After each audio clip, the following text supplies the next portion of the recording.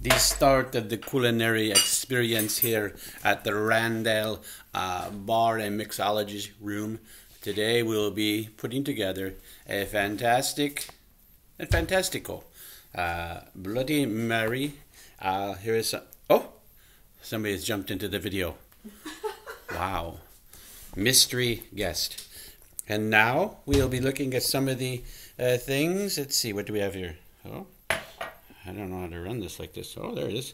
Uh, of course, you've gotta have vodka.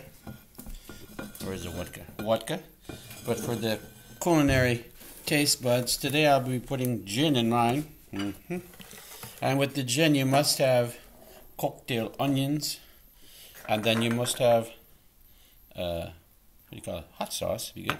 Oh yeah, here's the co- cocktail onions. Okay, and then you must have horseradish horse somebody's trying to oh a limon a limon fresh picked from the tree at me mom's and me dad's. So that would be um let's see what else? And then oh hot peppers. Oh i get to turn around hot and sweet peppers. Oh they're so good. And then the w sauce but a lot of people can say worcestershire. And then we use organic vegetable juice. Mm-hmm. And then we have some organic olives. You notice the organic theme throughout this.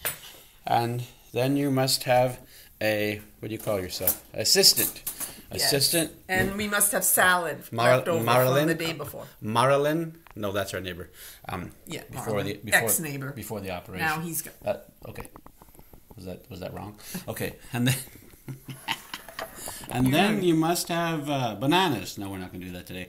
We're going. To, where are they? Oh, I'll hold it up uh, salted rim. You must take a limon, and you must put the uh, salt. What exactly? What kind of salt? Celery. Celery salt. There you go. Very good. And then we must get the celery. And then we must get oh mustard, mustard. Don't forget the mustard. Mustard. And the actual celery. Mustard. Very good. Oh, for Trader Joe's, I recommend this Dijon, Dijon, France mustard. Very Dijony. Um, what else? Oh yeah, celery. Celery, organic celery hearts. Do you notice the organic theme uh, throughout this? Let me just see one. Just show them that this is organic celery. It looks bruised and beat up because it's organic. Yeah. Probably have a few bugs. Okay, we should wind this up so we can get making our oh Bloody Mary. There's always some before noon. There's always some advice from the peanut gallery. That's why you should always make Bloody Marys alone and drink them alone, and that's much more fun than to have these uh, what do you call critics. Critics are all around us, and on this day, that it leaked that Donald Trump is going to be uh, uh, what do you call it? Some arrested. Oh, arrest? No, indicted. Indictment comes before the arrest. Just you know.